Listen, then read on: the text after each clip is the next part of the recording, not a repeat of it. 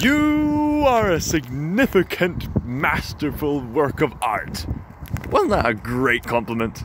Although next time, maybe you should be more open to some good feedback. Was that not a constructive critique? The reason I mention this is that today at church we were learning about the power of words.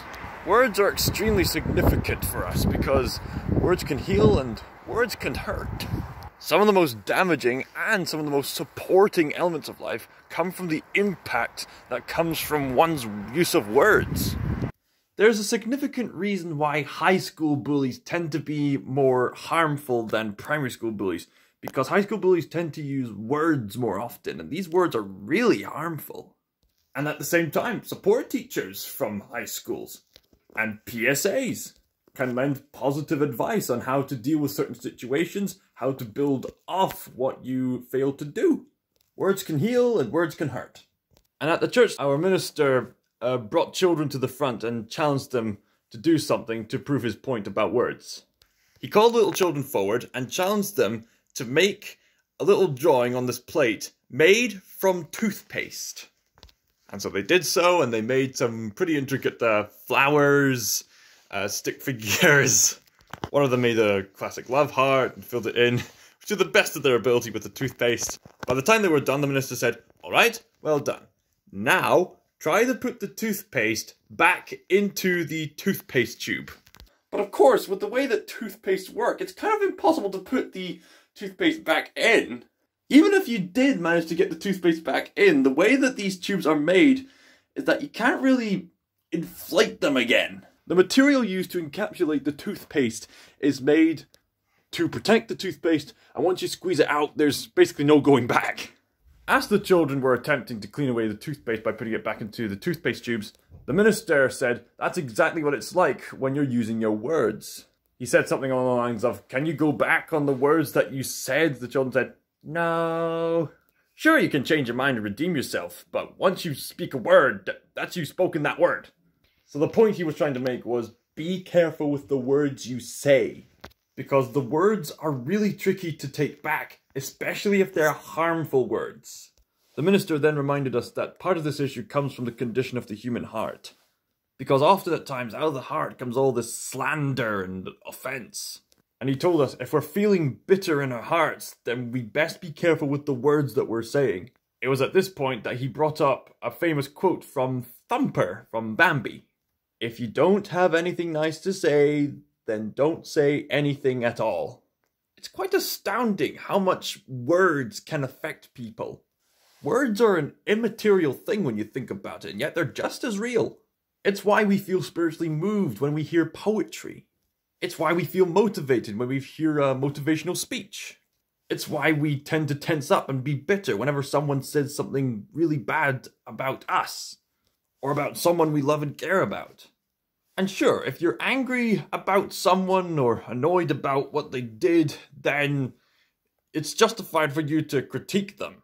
But try your best to make sure it's constructive criticism. Otherwise, you might be doing more harm to yourself than to the other people you're trying to critique. That and people could look at you the wrong way. For example, if I were to review the Sonic movie and say something along the lines of, Those careless idiots made the story mediocre! They weren't even trying to make it a really good movie! How dare they! How dare they offend Sonic! That wouldn't be very constructive criticism. That would just be slander and hate. Instead, what I could say was, now, they did try their best, but the story was fairly mediocre, but they could improve on it next time. I did like Jim Carrey and the portrayal of Sonic that was handled really well, but the overall movie was in this generic formula. But it's good for the families and Sonic fans. Hopefully they'll try again next time. I think that's a better form of criticism. As this ministry was being preached, I was being reminded of a scenario that Jesus Christ was in in terms of the power of words. This outcome provided him to say something constructive and critiquing at the same time. This is a scenario where Jesus and his disciples came across this lady who was caught in the act of adultery, and the Pharisees and the public were getting ready to stone her as punishment. The Pharisees then went up to Jesus and said, Look, this woman was caught in the act of adultery. What should we do, Rabbi? If Jesus said, don't stone her, then that's breaking the law, trying to justify a bad thing that she did. But if he said, stone her, then his point wouldn't have come across to the Pharisees. So Jesus said, He who is without sin may throw the first stone. Jesus made them stop and think. Jesus geniusly found a way to give the lady a second chance, while simultaneously making everyone else around him think. He who is without sin may cast the first stone. And let's be honest, all of us have sinned at some point. You'd have to be an innocent little baby to throw a stone at this lady. So after everyone left, Jesus went up to the woman and said to her that he's forgiven her and she can sin no more. Words are a very powerful thing, and the most powerful, philosophical, insightful, controversial, beneficial, spiritual, life changing, inspiring words ever spoken came from Jesus Christ. As for the specific Bible verse, we were looking at James chapter 3, Taming the Tongue. Not many of you should presume to be teachers, my brothers, because you know that we who teach will be judged more strictly. We all stumble in many ways. If anyone is never at fault in what he says, he is a perfect man, able to keep his whole body in check.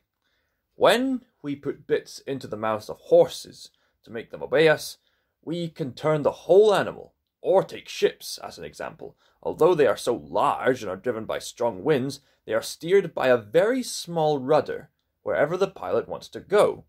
Likewise, the tongue is a small part of the body, but it makes great boasts. Consider what a great forest is set on fire by a small spark. The tongue also is a fire a world of evil among the parts of the body. It corrupts the whole person, sets the whole course of his life on fire, and it's itself set on fire by hell. All kinds of animals, birds, reptiles, and creatures of the sea are being tamed and have been tamed by man, but no man can tame the tongue. It is a restless evil, full of deadly poison. With the tongue we praise our Lord and Father, and with it we curse men who have been made in God's likeness. Out of the same mouth come praise and cursing. My brothers, this should not be. Can both fresh water and salt water flow from the same spring? My brothers, can a fig tree bear olives or a grapevine bear figs? Neither can a salt spring produce fresh water. This verse extends on to two kinds of wisdom, but to stay on topic, we'll just focus on the words. It may be that you're telling a friend off for something immoral that they've done. I don't think spouting hate is going to benefit them, and if anything, it just makes the situation worse. Be gentle and say words like, this may alarm you, or please try to understand, or I'm not trying to offend you. So, be careful with what you say, because words don't come back into the mouth. Thank you for watching another session of Scots Wisdom. I know some of you are skeptical about this series, but believe me, I believe some friends and family and years from now are going to look back at these videos and find these videos helpful. Long-term strategy. Don't always think in the short term. Bye-bye. God bless you all.